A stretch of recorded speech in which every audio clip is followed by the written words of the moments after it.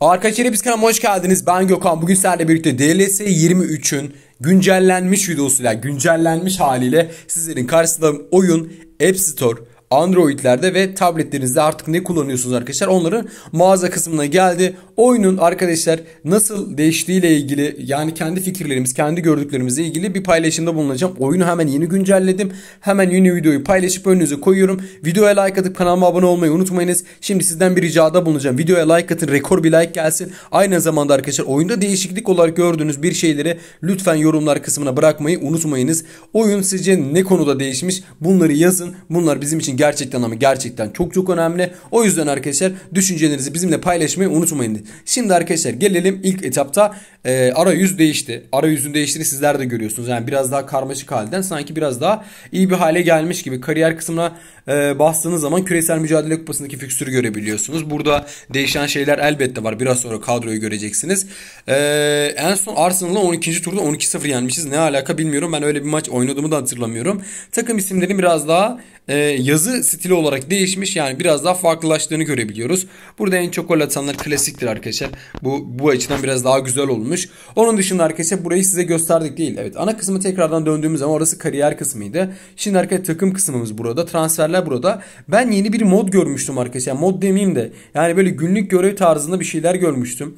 Ee, onu görebilecek miyiz bilmiyorum. İlk başta şu takım yönetimi kısmına gidelim. Ben normal e, olarak full e, Liverpool kadrosu kurmuştum. Halen Liverpool kadrosu mu? Oo bu arada çok önemli bir değişiklik sizlerle birlikte paylaşmak istiyorum. Şimdi arkadaşlar e, 4-4-2'nin 6 tane düzeni var. 4-5-1'in 4, 10, 13, 15, 16, 17, 18, 19 tane yeni dizilim gelmiş. Yani total, to, total olarak 19. Galiba öncesinde bu kadar yoktu. Mesela 4-2-2 gelmiş. Bunu ilk kez görüyorum arkadaşlar. Geçen senelerde görmemiştim. 4-3-1-2 var. Başka neler var? Bir 4-3-3'te bakalım neler var. 4-1-2-3 var. 4-2-1-3 var. Ve 4-3-3'ün düzü var. Zaten bu 4-1-2-3'ü biz oynuyorduk. Ama biz bunu oynamıyorduk arkadaşlar. Bu yeni gelmiş. Çift dostlu. Öyle hatırlıyorum. Umarım doğru hatırlıyorumdur. 5 iller çok gelmiş. 3-4-3'te bu arada 3-4-3'ü ha açabiliyormuşuz. Okey okey okey. Bunları görebilmek iyi oldu arkadaşlar. Ee, 4-4-2'nin dizilimleri bu şekilde. 3-4 diziliminin bu Oo! Bunu nasıl yapabiliyoruz arkadaşlar? Stadyum ekranına bir gidelim. Madem bunu 300'e yükseltiyormuşuz. Güzel. Bunu yapabiliriz arkadaşlar. Yeni dizilimler, üçlüyü gördük. Yani bu dizilimlerin bu şekilde olması gayet doğal. Gayet güzel. O zaman yeni takip sistemlerden bir tanesini mi denesek? Bakalım arkadaşlar ne deneyebiliriz? Şurada onlara bir bakalım arkadaşlar güzel bir şekilde elimizden geldiği kadarıyla. Hadi bakalım. 3-4-3'ten mi denesek? Ya 3-4-3'ü zaten denemiştik de. Bir tane dizilim 10 oy olup oynayalım ya. Ofansifi de deneyelim. Normal bir tane maç. Bakalım bizlere neler sunacak. Ee, bir tane AM pozisyonu oyuncu koymam lazım. Oyuncu genleri Ronaldo'ya bakar mısın? 90 ve güncel yüzüyle gelmiş. Bu gayet güzel. Hakan Çalhanoğlu'yu CM'de oynatalım. Tamam bir maçımızı yapalım. Ee, bakalım neler değişmiş. PSV Eindhoven'a karşı. Şuradan da devam edebiliyoruz mu arkadaşlar?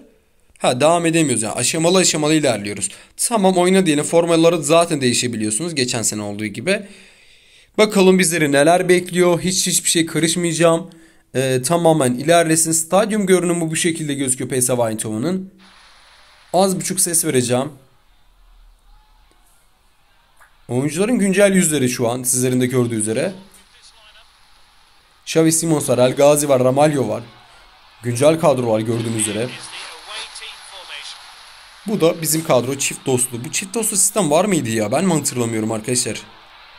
Oyunu da yani ve ofansif oynadığımız için bunu değiştirebiliyoruz mu? Ha maç içerisinde değiştirebiliyoruz. Bu güzel olmuş bu arada. Bu kısmı sevdiğim şeyde de var. Total futbolda da bunu getirmişler. Gakpo. Acaba oyunun şeyi nasıl?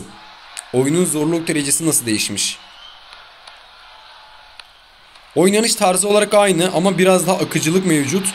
Xavi Simons offside.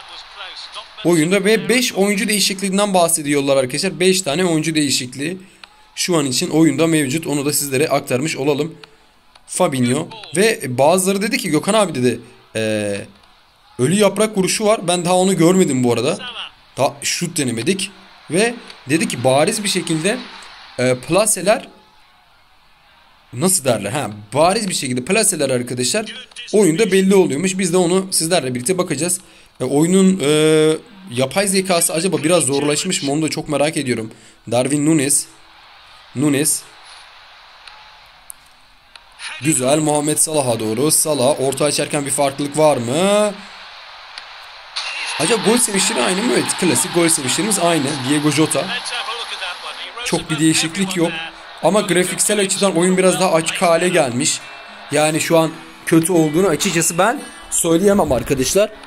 Bu sebepten ötürü bence gayet güzel. Yani şu an için ee, geçen sene nazaran hani oynanış olarak aynı olsa bile bazı değişiklikler yok değil.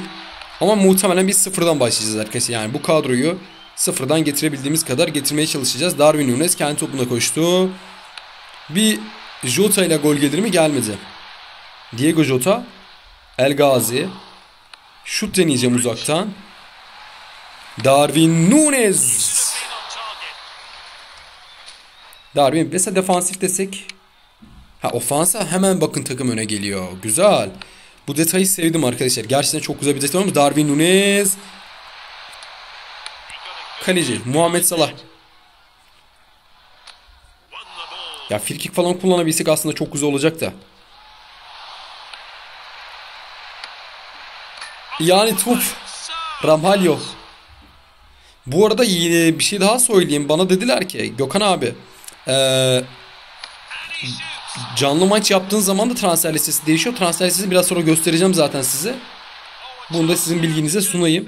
Sizler de görmüş olun. Ama ilk başta oynanışa bakıyoruz tabii ki de. Kalecileri merak ettim arkadaşlar.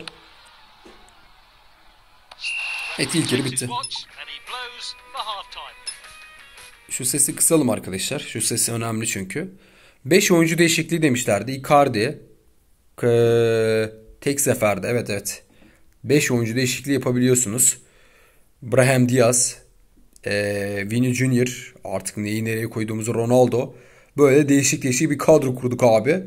Şöyle bir şey rastgele yaptık zaten bunu çok da önemli değil. 5 oyuncu değişiklik hakkınızı kullanabiliyorsunuz. Bu benim hoşuma gitti. E, Icardi de bizde olduğu için. Ama muhtemelen Icardi'ye de veda edeceğiz arkadaşlar. Yani oyuncular kalmayacak. Yani olsa da olmasa da kalmayacak. O yüzden bunu da sizin bilginize şu şekilde sunmuş olalım. Fabinho, Ronaldo, Cristiano Ronaldo iyi denemeydi. Bunun yeniden görüntüsü var mı merak ettim. Falso eğer atabiliyor mu onu bir test edelim arkadaşlar. Evet e, şu an için bir falso falan göremedim. Bari, bazıları demiş ki bariz gözüküyor. Şu an o barizden biraz yoksunuz açıkçası yalan olmasın. Icardi. Evet Mauro Icardi. Oo toplar şey arkadaşlar. Yani dibine çok az girmenize rağmen bu da güzel. Bu da güzel bir detay. Galiba geçen senelerden olan bir detaydı bilmiyorum. Ee, ceza sahası dışında durumu olayı. Var mıydı ya? Bazı oyunlarda var ama bu oyunda var mıydı bilmiyorum. Abi ee, o kadar unutkan bir insanım ki ya sanki bir şeyleri yeni görüyormuşum gibi. Ama hoşuma gitmedi değil yani bazı detaylar. Gerçekten gözümüzü pasını siliyor. Acaba online maçlarda da ofansif, defansif, orta şeklinde değiştirebiliyoruz mu? Yani kontroller için önemli olabilir çünkü. Vinicius offside. Şu maçı tamamladıktan sonra arkadaşlar çok hızlı şekilde bir de transfer listesine bakalım. Bakalım neler yapacağız. Icardi, Ronaldo. Bunu seri şeklinde çekeceğiz zaten. Cristiano Ronaldo. Evet, korner. Gol olduğunu zannettim bir an ama. Kaleciyi de çıkaralım. Klasiktir. Her zaman her sene deneriz bunu. Ama ge- geçen senelerde kaleciler kafa vuramıyordu. Aynısı gene olur mu dedik ama olmadı. Üçlü sistemi çok merak ediyorum arkadaşlar. Üçlüyü çok merak ediyorum. O yüzden ilk yükselteceğim şeylerden biri de bu olur. Ee, o dizilimi görmek istiyorum ya. Güzel 2-0 yaptık.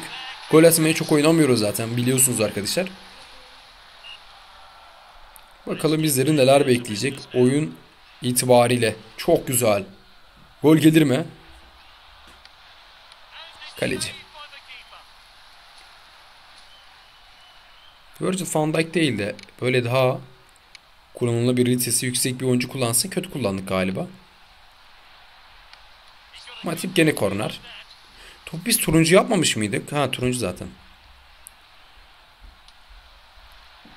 Bombeli kaleci Benitez. Şimdi arka transfer listesinde ufak ufak gideceğiz. Transfer listesindeki detayları da sizlere aktaracağız. Gakpo, Pulisic, Fabinho, Diaz artık maçın bitmesini bekleyelim. Robertson. Bak e, o defansif dedim. Bakın hemen oyuncular defansif pozisyona doğru geliyor. Bu detayı beğenmedim değil. Hoşuma gitti açıkçası.